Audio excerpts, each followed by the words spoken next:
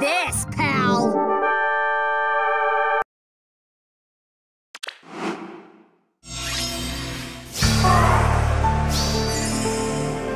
Um...